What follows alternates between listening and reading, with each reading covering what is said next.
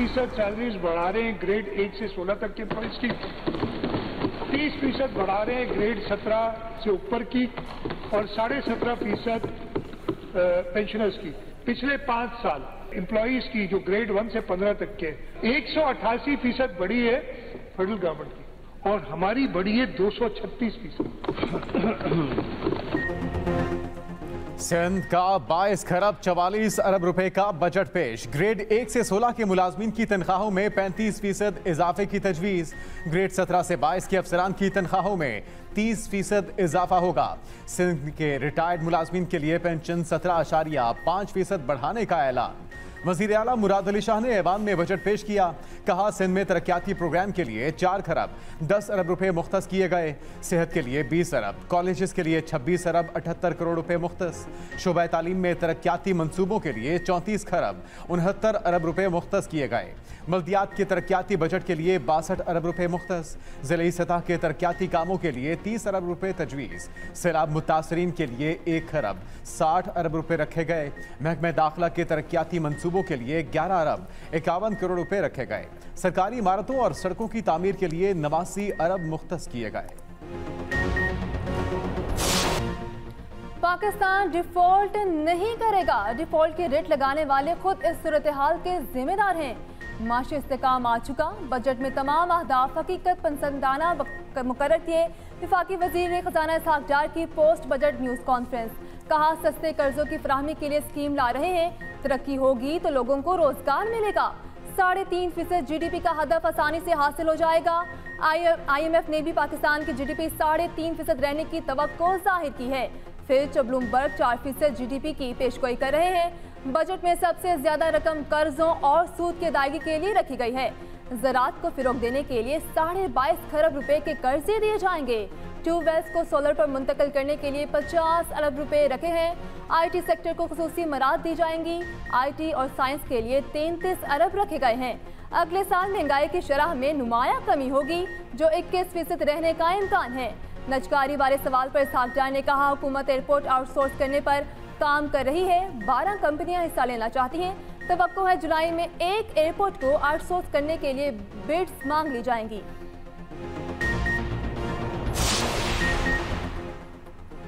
सरकारी मुलाजमीन की तनख्वाहों में इजाफा एडहॉक की मत में किया गया मुस्तबिल में जब इसकी बारी आएगी, ये बुनियादी तनख्वाह में जम हो जाएगा। पोस्ट बजट कॉन्फ्रेंस में विफाकी वज़ीर सागडार की वजाहत, कहा सरकारी मुलाजमीन के डेली अलाउंस, अर्दली अलाउंस और दीगर अलाउंसेस में भी इजाफा किया गया है। कम अज कम पेंशन भी दस हज़ार से बढ़ाकर बारह हज़ार रुपए कर दी गई है। विफाक में कम अज कम उजरत बढ़ाकर बत्तीस हज़ार रुपए कर दी गई।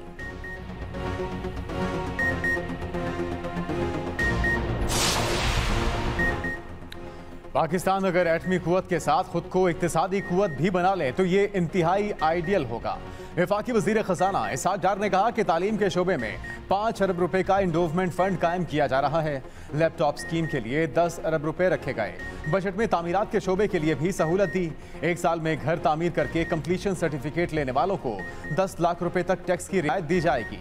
आईटी सेक्टर में बहुत सलाहियत है। स्पेशल जोन के कयाम पर जल्द काम होगा। आसान फाइनेंसिंग स्कीम को बहाल किया जाएगा। एसएमईज के लिए स्पेशल रेटिंग एजेंसी कायम करने जा रहे हैं।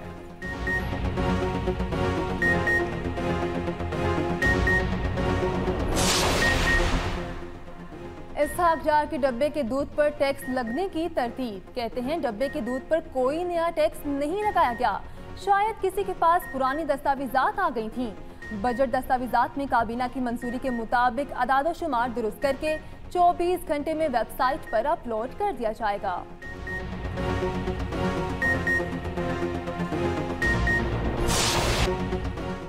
वज़ीर अजम शहबाज शरीफ ने सियासी इसकाम के लिए चार्टर ऑफ़ इकानमी को ही वाहिद रास्ता करार दे दिया। वज़ीर अजम शहबाज शरीफ ने अपने ट्वीट में कहा, चेयरमैन पी टी आई की तरफ़ से पैदा होने वाले सियासी अदम इसकाम के नाखत्म होने वाले असरात ने मीशत को नुकसान पहुँचाया। पिछला एक साल मुश्किल रही। सैलाब और आलमी हालात की वजह से बजट बनाना मुश्किल काम था। मीशत की तवील मुद्दती बीमारियों को ठीक करने का अमल शुरू कर दिया है। मखलूत हुकूमत ने उन शोबों को तरजीह दी है, जो इकतदी तरक्की को तेज करने सरमाकारी को रागब करने और मीशत को खुद कफील बनाने की सलाहियत रखते हैं। मीशत के इसकाम के लिए असलाहत की ज़रूरत है, जो सियासी इसकाम में ही लाई जा सकती है।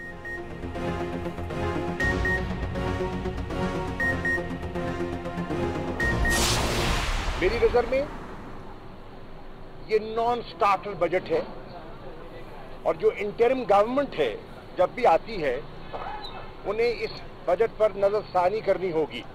ये वो बजट है जो मुसलसल जिसकी तरमीम होगी। ये प्रोग्राम इनकम्प्लीट रहेगा और आने वाली हुकूमत को एक नया प्रोग्राम रीनिगोशिएट करना पड़ेगा। इसहाक डार पाकिस्तान की मीशत के हिटमैन है। विफाकी बजट झूठ का पलंदा कौम के साथ मज़ाक है। इस बजट में बार बार तरमीम होगी। वाइस चेयरमैन तहरीक इंसाफ शाह महमूद कुरैशी की मीडिया से गुफ्तु कहा, तनख्वाहें बढ़ाने का ऐलान खुशाइन मगर पैसा कहाँ से आएगा? बजट आईएमएफ के फ्रेमवर्क से मुताबकत नहीं रखता।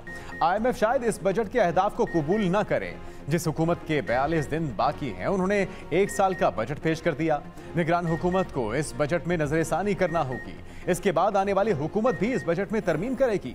शाह महमूद कुरैशी ने नई पार्टी की लॉन्चिंग को इमरजेंसी में डेथ ऑन अराइवल करार दे दिया। कहा, तहरीक इंसाफ विफाकी जमात है जिसकी पहुँच शहर शहर गाँव गाँव है। पीटीआई विफाकी सोच की जमात है और इसका मुस्तकबिल रोशन दिखाई देता है।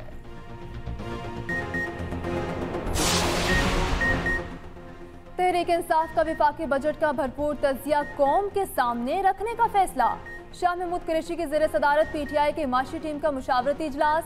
सबक वज़ीर खजाना शौकत तरीन और मुआशी माहरीन ने भी शिरकत की। इजलास में फैसला किया गया कि विफाकी बजट का भरपूर जायजा कौम के सामने पेश किया जाएगा। पीटीआई अपने दौरे हुकूमत की माशी कामयाबियाँ और शरणमों की तफसीलात भी बयान करेगी। Vice chairman Tehreek Insaf Shah Mahmood Qureshi budget पर जल्द न्यूज़ कॉन्फ्रेंस करेंगे।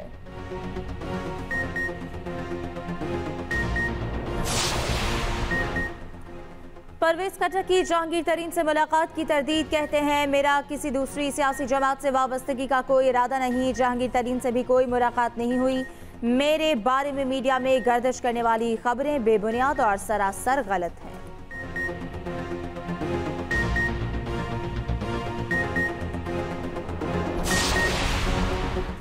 पंजाब में चार माह के बाद बजट की तैयारियाँ तेज। वज़ीर आज़म शहबाज शरीफ आज पंजाब बजट पर अहम इजलास करेंगे। निगरान वज़ीर अला मोहसिन नकवी भी शरीक होंगे। सेक्रेटरी खजाना बजट के खतखाल पर ब्रीफिंग देंगे। विफाकी वज़ीर कानून आज़म नजीर तारड़ और मोवन खसूसी मलिक अहमद खान वज़ीर आज़म की रिहाइश गाह मॉडल टाउन पहुँच गए।